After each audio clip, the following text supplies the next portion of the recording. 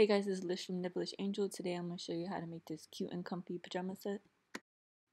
I'll be using this adorable knit fabric that I got from Joann's. It was super stretchy and this was the first time I actually saw cute Christmas knit fabric at Joann's. I always like to cut my straps out first so I know that I need two short straps for the top so I'm just cutting one really long strap um, that I will later cut down and I'm just making it an inch wide.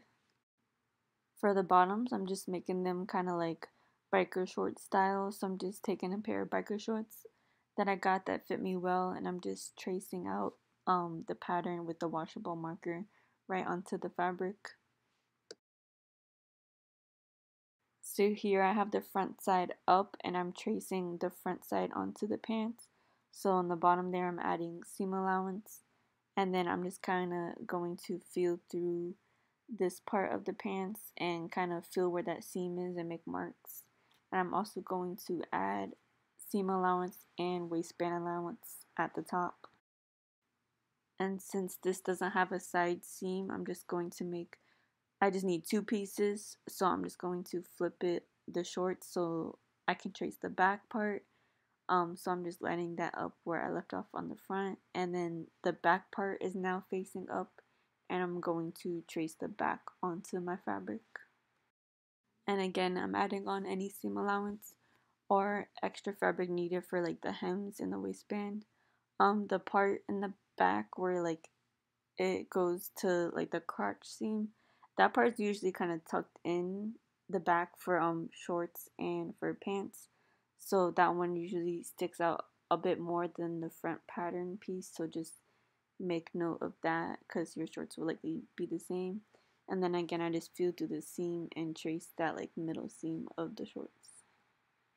So I always get a measuring tape and measure this part of the shorts um, because they should be the same. So here I'm just making sure that I measured that and traced that out correctly and adjusting it if they weren't the same measurement this fabric is ridiculously stretchy, so I'm not super, super picky, like trying to get it exactly precise as long as that part matches up.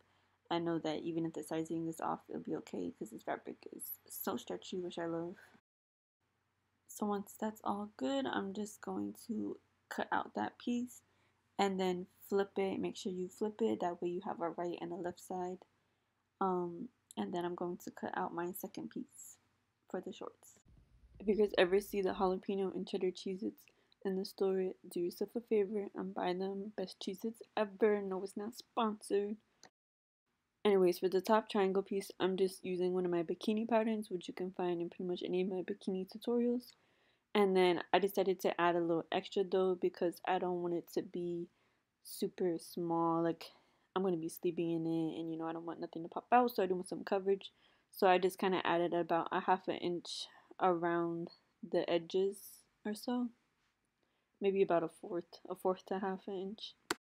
I used that piece as my pattern piece, so I then put um cut out four in total of the triangles.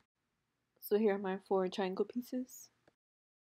So the bottom part of the top, like the rectangle that goes underneath the triangles, I want it to be about four and a half inches wide so I'm going to cut the triangle about 10 inches. That way I have about um a half inch for seam allowance and it's going to be folded in half so it will end up being about four and a half inches. And then I measured around my waist to figure out how long I need to make the rectangle.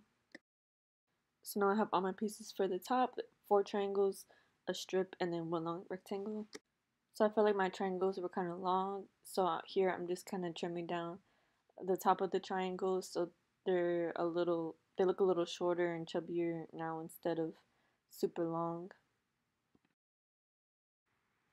Now to get the top cut parts to fit more snug, I'm going to put darts on all of the triangles.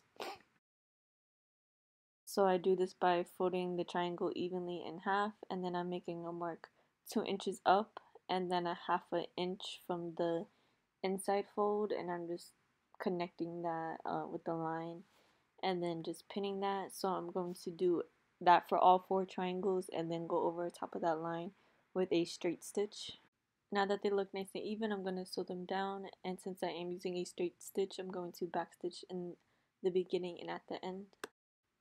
And now I'm going to open them up and then figure out which sides I want to be the side that is showing. So I'm picking like the cutest ones and then I'm going to pin my uh, triangles together and I'm putting the pins on the side that I want to be the back if that makes sense.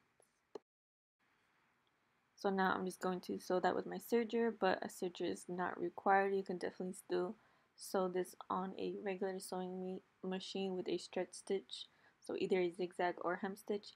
I am adding this clear elastic to it. It is completely optional, but I do like to add elastic with um any of my super stretchy fabrics. I love this elastic. I use it for pretty much any stretchy fabric project that I sew.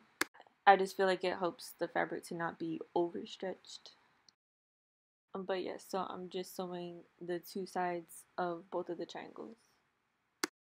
So here I'm just sewing the strap for the top and I'm just doing that by folding it in half and sewing it with my serger and putting that clear elastic on top. And again the elastic is optional and you do not need a serger. But yeah I'm just folding that strap in half to sew it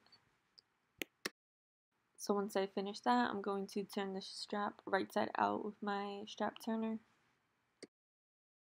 So I'm taking the long strap that I made and cutting it in half and then I'm going to cut off the tips of the triangles just a tiny bit. You want it just big enough for that strap to fit through. You don't want it too wide otherwise it's going to look boxy at the top. And then I'm taking my strap turner and pulling the strap through the top of the triangle. I like to match the side of the strap that has a seam with the side of the triangle that has the elastic that way um it's in the in the back of the triangle, if that makes sense. And then I'm just going to sew it down a bunch of times with a straight stitch to make sure it's secure. I will usually go over it about five times and then you can just trim off that excess part of the strap and the little threads. To attach the triangle cups to the rest of the top, I'm going to have the side that I want up and then flip it over onto the rectangle and then I'm going to tuck the straps and everything into the rectangle and fold over the other side um, and then just pin it down. I have the triangle cups about a half an inch apart. I feel like for most tops they're usually about a half an inch to an inch um, apart from each other. So once I get the triangle cups pinned good onto the rectangle, I really make sure I get I focus on like where the cups are so I get the front and the back of the triangle and just make sure those are in place where I want and then I'm going to pin along the rest of that long rectangle. Do have the cups in the middle of the rectangle. So once everything is nice and pinned, I'm going to serge over top of that and I am adding elastic. Again, elastic and serger are optional. But yeah, I'm just to go down the whole rectangle, making sure I sew through all the layers of the front of the back of the rectangle and through the cups.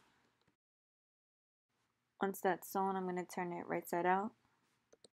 I did accidentally have a little hole right there in the middle, so I did flip it back um, inside out and then sewed it again to fix that hole. I put the rectangle part around my waist and marked where to trim it so that it fit snug. This fabric is super stretchy so even when it fit a little snug, I can still stretch it over my head. I don't need to add any ties or anything. I'm mad at myself that I forgot to record sewing this part, but pretty much what I did is I took one end and I tucked in the top completely um in the straps and cups and everything and then I lined up that end of the top um, with the other ends and then I matched the seams and pinned around it um, and then sewed around that if that makes sense. And then once I sewed that together, I just made a little hole and turned it right side out. I hope that makes sense. Here I'm just measuring where I want the straps to go in the back. You can just sew the straps like right onto the back, but I wanted to be difficult and make little openings in the seam. That way I can tuck the strap in there and then sew it down. Now I'm going to try on the top and make a mark on the straps of how short I want them to be, which will be how tight they are. And then I'm going to crisscross them in the back like that for more support. So I made a mark here on the strap, so I'm cutting it there. And then I'm just measuring it up with the other strap so that I cut them evenly.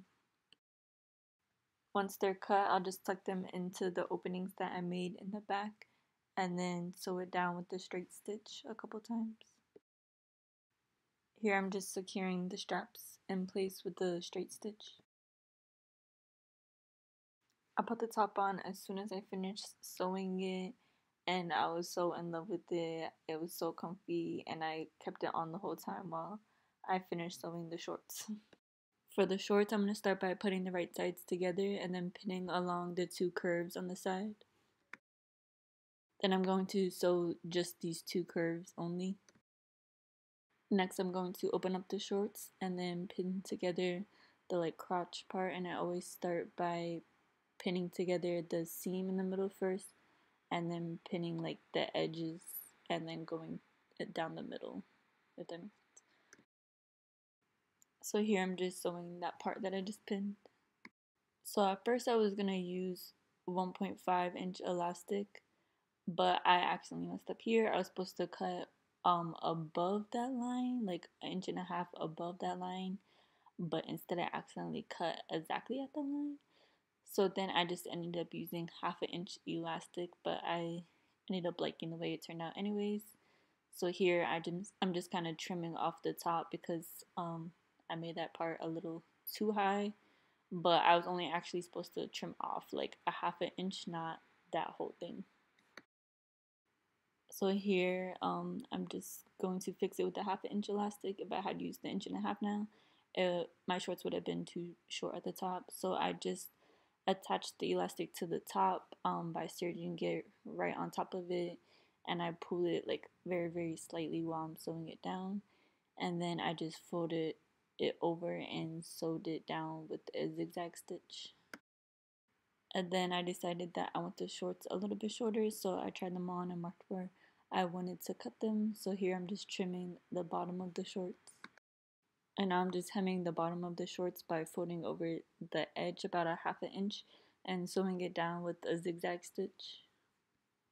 Every time I do a zigzag stitch, I always use the 3.1. I prefer this one a lot over the regular zigzag stitch because it's just more secure and when I use the other one, my sewing machine will skip stitches sometimes.